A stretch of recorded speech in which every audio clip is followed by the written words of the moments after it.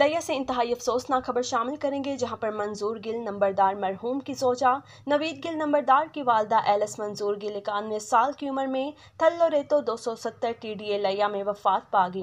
उनकी आखिरी रस्मात Saint Cecilia Catholic church Loreto दो सौ सत्तर टी डी ए लिया में रेवरेंड फादर जमशेद एल्बर्ट और रेवरेंड फादर अनिल खुरम ने अदा की, जबकि उन्हें कैथलिक रस्म रवाज के साथ लोरेतो दो सौ सत्तर टी डी ए कब्रस्तान में सुपुर्द खाक कर दिया गया।